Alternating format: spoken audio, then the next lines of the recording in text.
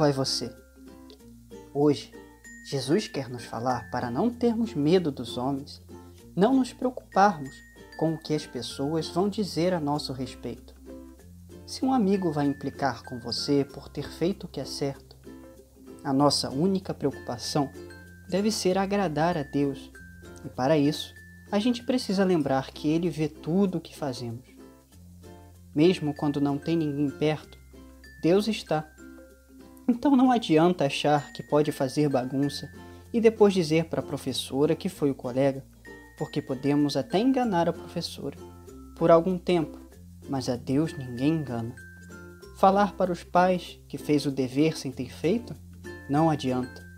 O objetivo de sermos obedientes e corretos não é para agradar as pessoas, mas para agradar nosso Pai do céu, aquele que cuida de nós o tempo inteiro e nos ama mais que qualquer pessoa. Deus te abençoe. Tudo por Jesus, nada sem Maria.